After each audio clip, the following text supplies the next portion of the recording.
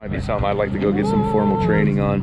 I mean, it is a brushed aluminum snare now in the photo. It like there's you can't, no one could tell.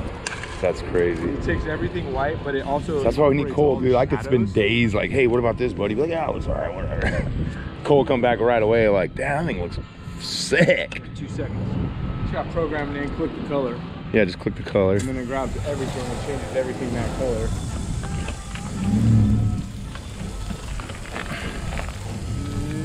That mug, bro. Man, so dirty, dude. Mud slingers.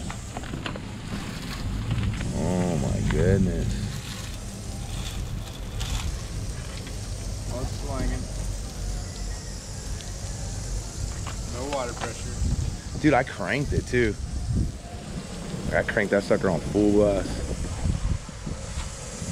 Dude, these are nasty. These ones are really. There's a lot. Of, I mean, look, look around. I mean, it ain't nothing but dirt. Is it kinked or something?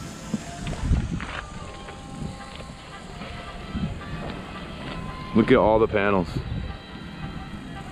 Every house has panels.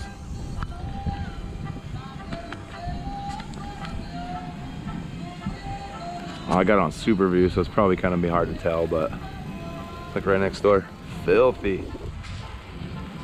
Those ones are pretty clean. They've been cleaned a while ago. You can see the dirt starting to stack up on the bottom.